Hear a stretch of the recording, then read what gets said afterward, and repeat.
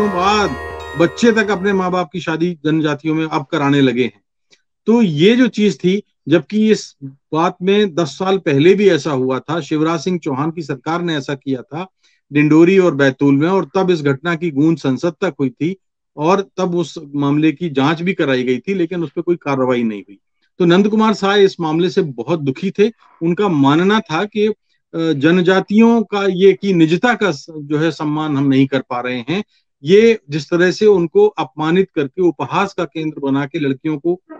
वापस उनके घर भेजा गया, ये ठीक नहीं है। और नंद कुमार साय वाकई में मतलब झारखंड, उड़ीसा,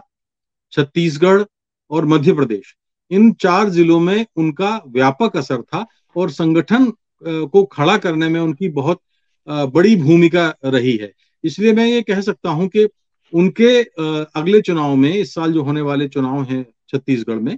उसमें उनके इस परिदृश्य पर नहीं रहने से बीजेपी की चुनौतियाँ तो निश्चित रूप से बढ़ी हैं, कठिनाइयाँ बढ़ी हैं, क्योंकि जनजातियों का, जो कि छत्तीसगढ़ आदिवासी बहुल्य प्रदेश है, और वहाँ उनके पास अब जनजातियों का कोई बड़ा चेहरा सामने नहीं रहा है।